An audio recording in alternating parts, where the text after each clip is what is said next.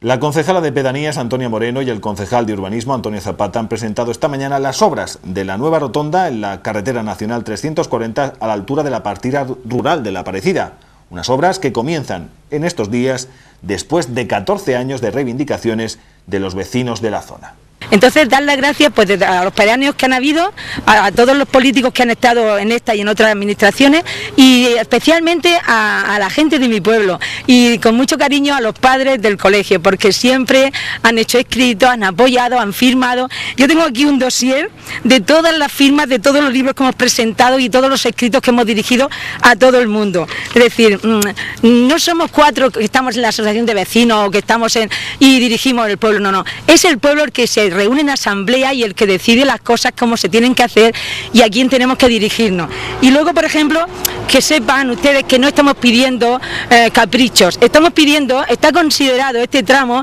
el tramo más peligroso a nivel nacional, es decir, que no es que estamos aquí, pues nada, como no tenemos nada que hacer, vamos a pedir esto al ayuntamiento o a fomento, estamos pidiendo la vida de las personas y el que no puedan haber más accidentes. Moreno ha mostrado su satisfacción por el comienzo de las obras y ha recordado que la concesionaria, Los Serranos, tiene tres meses para realizar las obras. La primer teniente de alcalde ha recordado que la obra tiene un coste de 300.000 euros y que, como estaba previsto en el presupuesto, se ha financiado a través de créditos. Es una obra que tenía la legislatura pasada, quedó eh, con un presupuesto a cuenta de 300.000 euros,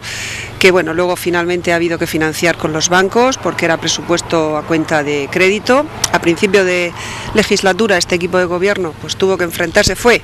el primer objetivo prioritario con el que tuvo que, que desentrañar el problema financiero. Hubo que ir a los bancos, pedir crédito, que los bancos nos dieran el crédito, finalmente conseguirlo y luego iniciar lo que es el procedimiento de licitación y de adjudicación. La obra se adjudicó a los serranos y muchos es verdad que se preguntan que por qué ha tardado tanto desde la adjudicación, casi tres meses, hasta, la, hasta el inicio de las obras. Bueno, pues ha habido un problema con unas expropiaciones que había que hacer, estos trámites para hacerlos bien hay que llevar su tiempo y no ha sido otro que eh, otro asunto que es. Por su parte, el concejal de urbanismo ha anunciado que esta es la primera obra en la que un técnico municipal está habilitado para dirigir la seguridad en el trabajo y que así será en la mayoría de ocasiones desde ahora, con lo que el ayuntamiento ahorrará entre 250.000 y 300.000 euros al año. Y a nivel de gestión lo que sí que se ha realizado ha sido algo novedoso en el Ayuntamiento de Orihuela, puesto que dentro de esa política de austeridad y de contención del gasto hemos conseguido y esperamos conseguir aproximadamente entre 200 y 300 mil euros anuales en contratos de prestación de servicios para la coordinación de seguridad y salud laboral. ¿Cómo hemos conseguido esto? Muy sencillo, simplemente había que conseguir eh, un contrato de seguro para técnicos de la casa que les cubriese sus responsabilidades en todas las obras que se ejecutasen en el término municipal de Orihuela. Ese contrato de seguro solo costaba entre 2, 2.000 y 2.500 euros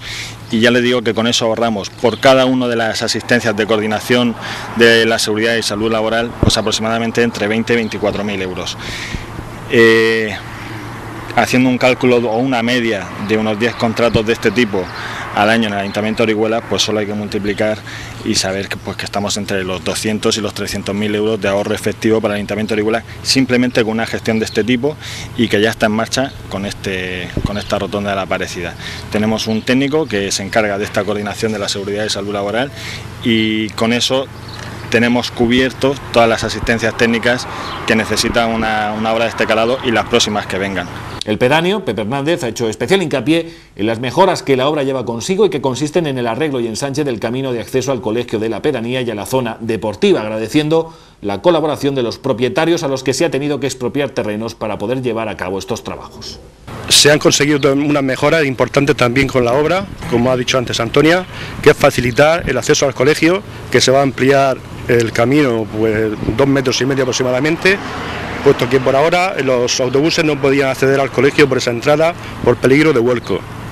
Eso, eh, la ampliación de ese camino ha sido una de las causas que ha demorado el inicio de las obras, puesto que ha habido que estar en contacto con la familia dueña de los terrenos para llegar a un acuerdo y facilitar que se le tomaran ahí eh, el terreno correspondiente a esa ampliación. También hay que felicitar o alabar la buena voluntad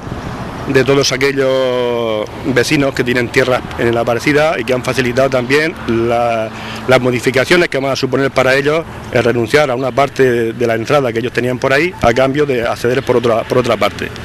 puesto que eso, este hecho va a facilitar la seguridad de entrada y salida a todos por la rotonda puesto que en la parte sur tenemos el polideportivo, la piscina, el colegio y obligatoriamente tenemos que disminuir en todo posible eh, los riesgos que eso supone.